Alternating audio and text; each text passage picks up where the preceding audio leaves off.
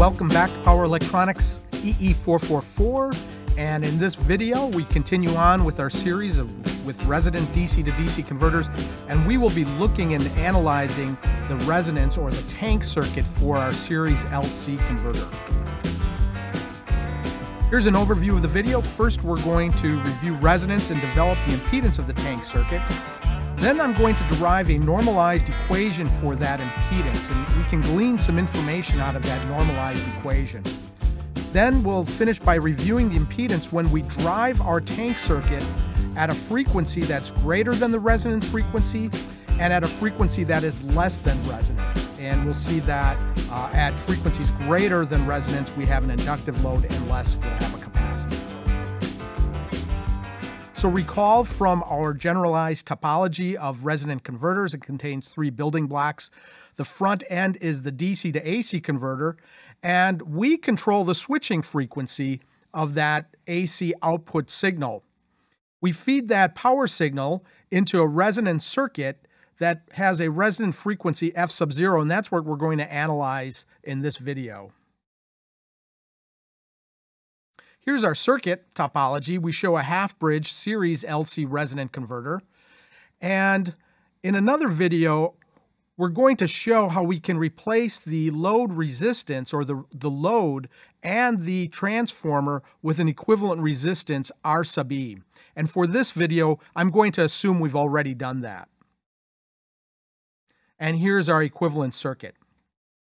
Let me switch over to the OneNote to derive the input impedance or the impedance of this circuit. It's called a tank circuit. Here's our source, which is the half bridge generating the square wave. The input impedance is a function of our switching frequency omega, and it's equal to 1 over j omega times CR plus j omega L plus RE. We can rearrange this equation into the real part plus the imaginary part.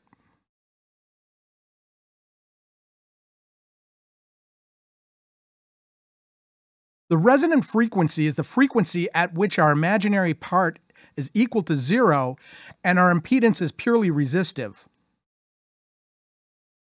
We can solve for that by solving for this equation and setting that equal to zero. The value of omega, as you've learned in your circuits class, is equal to 1 over the square root of the inductance times the capacitance. Recall you may have also learned another term called the 3 dB bandwidth, and for series LRC circuits, it's equal to the resistance divided by the inductance. Another term which we use to sometimes normalize the equation, is called the quality factor. The quality factor is equal to omega naught divided by the bandwidth. We can use this to find an equation where RE over L sub R is equal to omega naught divided by Q, or LR divided by RE is equal to Q divided by omega naught. We're going to use this equation in a bit because I'd like to normalize the impedance equation for our tank circuit. In a similar manner, we can show that Q times omega naught is equal to 1 over CR times RE. And again, I'm going to use that when we normalize the impedance equation. So let's go back to the impedance for our tank circuit.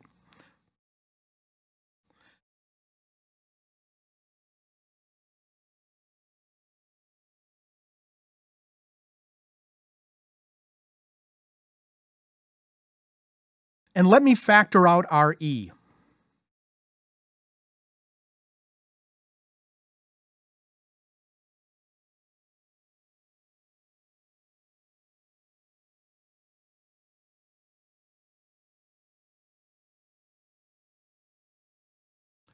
Using the equations for omega naught and q, I can substitute those into our impedance equation, and we obtain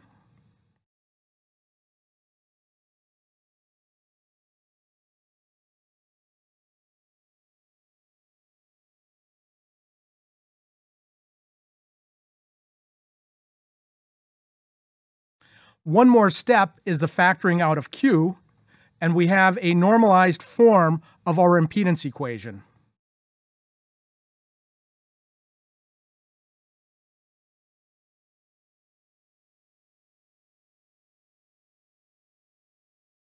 There's one more step, and in this step, I'm going to define f sub n. It is a unitless normalized frequency variable, and it's equal to our switching frequency, and that is the frequency at which we will drive our resonant tank circuit divided by the resonant frequency itself. This is also equal to 2 pi f of our switching frequency, which is omega, divided by 2 pi f0, again, which is our, our resonant frequency in radians per second. So that is equal to our switching frequency divided by our resonance.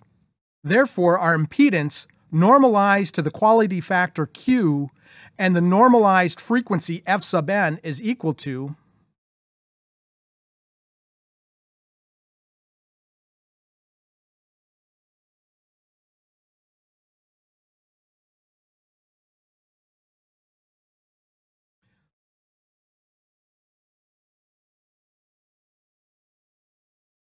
There's a couple of observations we can make from this impedance equation. First, if f of n is greater than 1, this implies that our switching frequency is greater than our resonant frequency.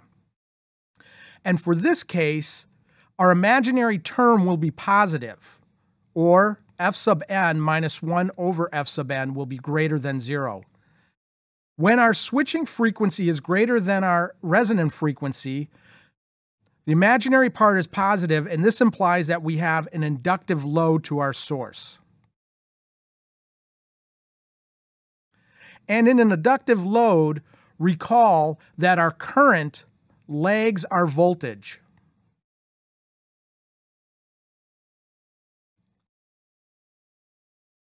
And this means that when we are switching our voltage on our DC to AC inverter, our current is still going to be slightly positive.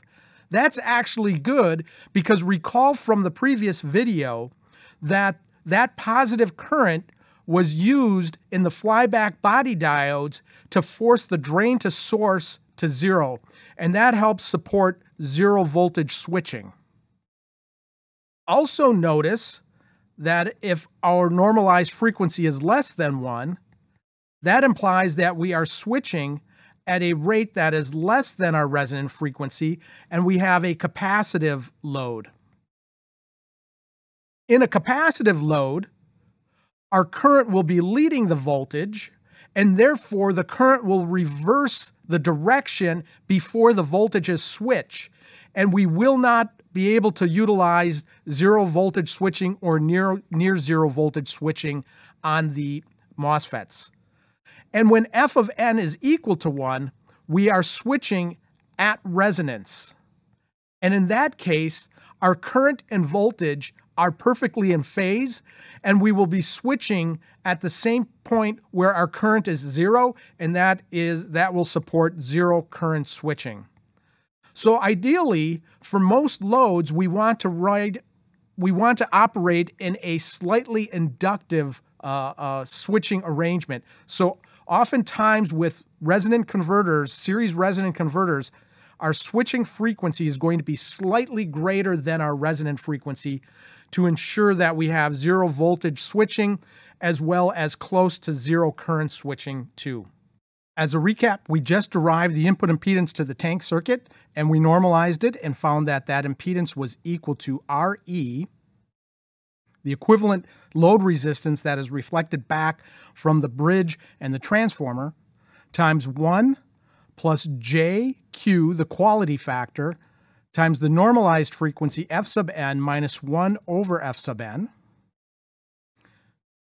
and we know that the quality factor, while I didn't show it here, it can be proven, is equal to the square root of the inductance, L sub R, divided by the capacitance, C sub R, all over RE. And we know that the resonant frequency is 1 over the square root of LR times CR, and the normalized frequency is equal to the switching frequency at which we drive the circuit divided by the resonant frequency. The key points we introduce the quality factor and a normalized frequency variable f sub n. At resonance, the voltage and current are in phase, and this applies zero current switching. We will be switching the voltage and the current at near zero states. When switched at a frequency that is slightly higher than resonance, the load is inductive and the current is lagging the voltage.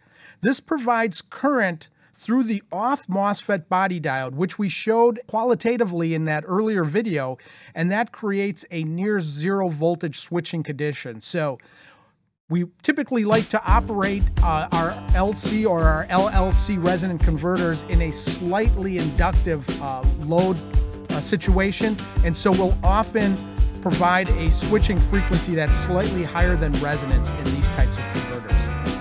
That's resonance. Thank you for watching.